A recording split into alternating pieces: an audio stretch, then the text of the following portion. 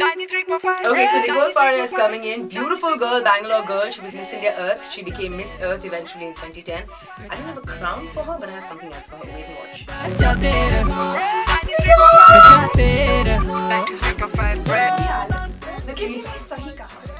शामिल मिलने से पहले बहुत सारे मेडिकल को किस करना पड़ता है सानी सानी आई थिंक दैट्स माय